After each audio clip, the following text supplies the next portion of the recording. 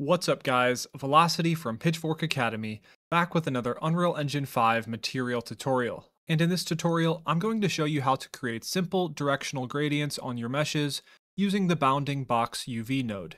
This approach is especially useful when you want your gradient effects to stay consistent across different mesh sizes without relying on traditional UVs. We'll start by blending two colors across the mesh, choosing whether the gradient runs along the X, Y, or Z axes, and controlling where it starts and how it fades. After that, I'll show how to use this for an emissive gradient, including a pulsing effect over time, perfect for things like a glowing barrel. And finally, here's a quick in-game example from a prototype we're working on, where this technique is used to blend from a wood-like surface into a mossy green tone using a top to bottom gradient, helping the character sit more naturally into the environment. Before we get started, just a quick reminder that my Patreon, Vylocity's Vault, is a great way to support me and get immediate download access to this tutorial's project files, along with all of my other material and graphics tutorials. There's also an ultimate tier for anyone who wants more hands-on guidance. A lot of you are indie devs, maybe focused on gameplay first, so the visual side naturally takes a back seat. If you would like any feedback on your materials, guidance on art direction, or help refining the visual identity of your project, that tier includes a monthly, one hour call where we can go over any questions or challenges you might have. You'll find everything linked down below. Now let's get into the tutorial. Alright guys, so most likely you have your own meshes that you want to use for this gradient effect, but if you wanted to follow along exactly using the rifle and textures that I'll be using in the tutorial, I'm using the first person template map with the arena shooter variant. This will go ahead and include the rifle and this test map here, um, but I'm just using it so I can have a rifle to test the gradient on. Alright guys, here we are in the engine and I have my rifle here, and the first thing I want to do is just select my rifle and check its current material. So this one only comes with two textures, a base color and a normal. Yours might have more if you've already set up your materials for either your weapon or your character or whatever you're applying this to, and that's totally okay. We're just going to be multiplying from the color here, and then we'll also be adding to any emissive color that we already have. So you might have some emissive logic plugged in, and you'll just be able to get an add node, and your existing stuff will go into A, and then the new um, logic that we'll create in a moment will go into B. Um, but this is just handy to see really quickly so I know what textures I need to create my new material. So I'm not going to save that. I'm going to now in my content browser, right click, make a new folder called materials. And then inside of here, I'll just right click and new material. And I'll call it m underscore gradient, something like that. And then I'll double click to open it up and drag it on screen. And then I want to go ahead and find those textures that are on this gun. So I happen to know that they're in the weapons folder and rifle textures. And then I'll just hold shift and click both of them to select both and drag them in to my material. Now I want to drag the normal in, but I don't want to uh, do anything with the base color just yet. Um, so the first node that we need, which is the main node that we'll be using to create this gradient, we'll right click and search for bounding box based UV 0 to 1. Either one of these will work. And now we have this. Now really quickly, I just want to plug this into base color to show what it does. Go ahead and save that. And we can really quickly apply that to our mesh. So right away, this looks really cool. creates a nice soft gradient all around of different colors. And it, essentially it's mixing red, green, and blue based on the directions. So um, it's creating this sort of multi-directional gradient, which is nice, but we're just going to create a gradient that we can control. We'll just select either, you know, we want it on the uh, y-axis, the x-axis, or the z-axis. So we can go back to our material, and I'll just disconnect this by holding Alt and clicking. And so the R is going to be the x-axis, the G is the y-axis, and the B is the z. Um, but we don't actually have to choose right now. We can choose later in our material instance by dragging off of RGB and searching for a channel mask parameter. And I'll call this color direction. Because at first we're just going to tint the gun camo um, with color. We'll do the emissive glowing stuff um, next. So from here, we want a way to control the gradient. So I'll subtract And then I'll hold S and click for a scalar value, and I'll call this color bias. This will control where the gradient starts at, and a value of zero is good. And then from here, um, I'm going to get a power node. Now you could get a multiply node, but the power node creates more of a um, softer effect, and I much prefer the power node over multiply. Uh, so I'm just going to copy color bias over and call it color contrast. And I'll set this default value to be 2. And then we can drag off of this and saturate. Uh, the saturate node clamps your value between 0 and 1. Essentially what we're doing is we're creating a black and white mask or black and white gradient um, based on a certain direction on the gun. And we need that to stay between 0 and 1. If we start to crank up this power or subtract or add below or above 1 or below 0, we'll get some unnatural results if we don't saturate. So this just helps clamp it basically. Uh, and then we can go ahead and get a lerp. So if you hold L and click on your keyboard, you can get a lerp node. You can also search for linear interpolate. That's um, the actual name for it, lerp for short. And then we want to basically, you, you can blend between two values with the lerp. So our alpha is the blend, or our 0 to 1 gradient. So we'll plug that into alpha. And then we want to now get two colors. So I'll hold V on my keyboard for a vector parameter. And I'll call this color A. Set the default to white. Paste that down. And then this one will, will be called color B. Color A goes into A and B goes into B. And now we can hold M and click for a multiply. And we're just going to multiply our existing base color by this logic. So now we have um, two color options and they will be based on this gradient that we're creating. Now I want to set my default direction to be green because I happen to know that this mesh uh, front to back is using the green axis or the Y. So now we can go ahead and save and just check out what's happening. So nothing should happen yet, but let's go ahead and right click on our material and create a material instance. I'll call it MI gradient and we'll call it color. We'll create another one for the emissive and I'll drag this on here. Nothing should change yet, but when we open up our material instance, we should be able to play with the parameters a little bit. So I'll just check everything on here.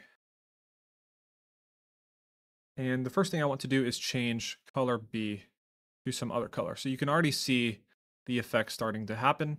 And this is quite nice. So I'll just set maybe my color to be blue. And then color A maybe something like green. And then the color bias, as you can see, controls where that gradient starts. And then the power controls sort of how harsh or soft that transition is. So I usually like a value between 2 and 5. Um, it really just depends on how obvious you want the fade to be. Maybe we'll try 2 there.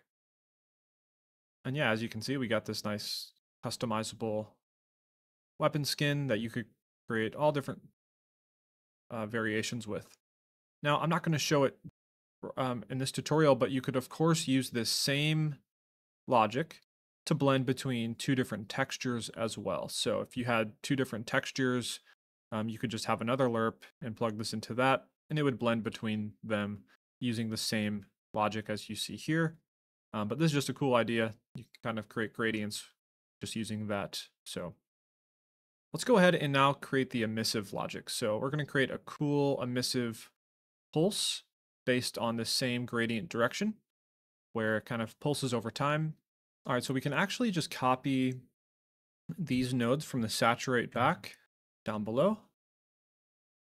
And then I'll zoom in and I just want to rename color direction to emissive direction and color bias to emissive bias. And you guessed it, color contrast to emissive contrast. And then we want to multiply. So I'll hold M and click for a multiply, plug that into there. Hold V on my keyboard for a vector parameter and call this emissive. I'll set the default to be white.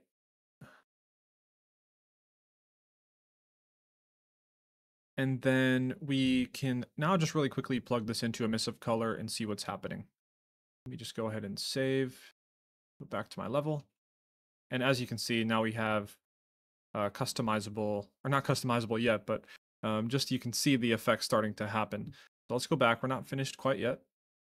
Uh, we actually want to set the emissive bias a little bit higher by default. Let's go 0.3, and then emissive contrast will go 8. This will just push it to the um, front a little bit more. Now you can see it's kind of just on the tip there. Um, but we're going to increase that brightness as well. Now I just want to disconnect this multiply here, and we're going to copy and paste this multiply. And usually we, you would just get one scalar parameter and plug it into here for maybe emissive brightness, and you could scale it up, and this color would become brighter. You can also do it by cranking this V value above 1, but I think that's um, not very good for this case. So what we're going to do is based on time, we're going to blend between two brightnesses. So what I'm going to do now is um, create that time logic. So I'll right click and search for time. And then we'll drag off and get a multiply. Hold S and click for a scalar. I'll call this emissive speed. And I'll set it to 0.2 by default. Actually, we'll do 0 by default in case we want the um, low not to be pulsing. And then I'll drag off and do a sine. So this will kind of go up and down between 0 and 1. And then from here, we want a constant bias scale. So the sine wave naturally goes down to negative 1 and then back up to 1 and then down to negative 1. Um, but this constant bias scale essentially we'll take that value and push it to be in 0 to 1 range. So this will make it so our emissive pulse doesn't go away for so long. Uh, it just makes it look much smoother. And now we want to get a lerp node. So I'll hold L and click for a lerp. Plug constant bias scale into the alpha. And then now we need two parameters. So I'll hold S and click, and I'll call this first scalar parameter emissive A for the A input. And I'll set this to a default of 10. And then I'll copy this down, call this one emissive B. Default value, let's do 100. And then we'll plug that into B. Actually, I'm going to set it to 10 by default, just so that way, um, no matter what, if you didn't want it to pulse and you just wanted the front end of your mesh or your barrel to glow, it'll just be this, this value here. And then we'll, we can finally multiply that on top. Just go ahead and drag this into emissive now. And then let's go back to our material. And then I just want to quickly open up my gradient color. And I'm just going to treat this as no emissive whatsoever. So I'll set both of those values to zero. Now I want to create a new material instance of our master material. And I'll call this one mi underscore gradient underscore glow. And then let's just duplicate this. Drag these over a little bit. And then we'll just drag this one onto here. So by default, our gun is just the basic color. And then we have the glow in the front, which is just white. Let's go ahead and open up our new material instance and see what we have to mess around with. So we're not worried about the color bias, but of course you could layer on top a gradient color base using the color bias, contrast, and the color A and B, but I'm just worried about the emissive at the moment. So what I want to do first is just um, turn on the emissive parameter here. And as you can see, we can fine tune that value. Let's make it a reddish orange color. And then now we can go up to our emissive A and B. I'll leave A by default. That's what we're seeing now. If we set this to one, it'll be uh, much more dim. So 10 default, just a little bit brighter. And then let's do 100 um, for the B.